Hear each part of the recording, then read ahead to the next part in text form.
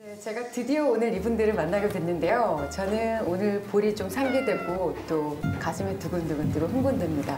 아마도 이자란 밴드를 소개하겠습니다. 안녕하세요. 예, 안녕하세요. 안녕하세요. 어, 너무 반가워요. 근데 자람 씨도 자람 씨인데 자람 씨 굉장히 오래간만에 보는 네, 거잖아요. 네. 거의 거의 한 10년 네. 넘게. 말도 안 돼. 강산이 한번 바뀐 거예요. 그 네. 사이. 네. 근데 또 그 사이에 저는 사실은 워낙에 자람 씨 음악을 좋아해서 이렇게 어, 떤 SNS를 통해서 영상 통해서 이렇게 보고 그랬었거든요. 근데 이렇게 또 훈남들인지는 가까이서 보니까 더 잘생기시는데 잘생긴 순서대로 소개 좀 부탁드릴게요. 네, 저는 아마도 이자람 밴드에서 드럼 치는 네. 김훈이라고 합니다. 오니 씨 반갑습니다. 네, 저는 베이스 김정민입니다. 정민 씨 반갑습니다. 네, 저는 북한 이장입니다. 네. 스타 이민기입니다. 네, 반갑습니다.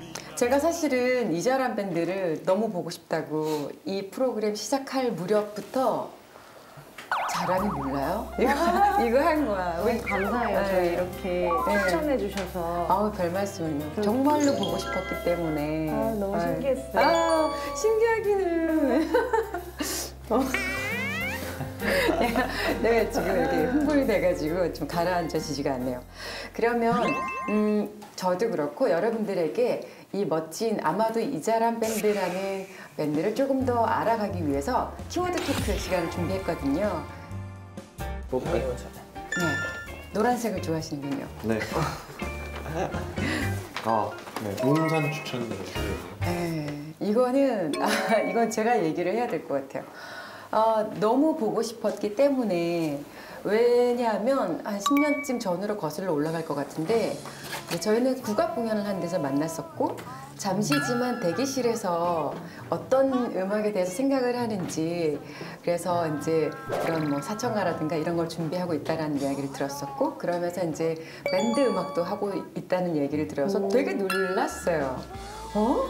이자람이가 이런 명창의 또 밴드 음악을 하는구나. 그리고 그때는 이렇게 좀 흘러 들었던 것 같은데 시간이 좀 지난 다음에 우연찮게 영상을 보고 너무 야 역시 내가 좋아한 이자람이 이렇게 멋진 사람 맞았구나 아. 그런 생각을 하게 됐거든요.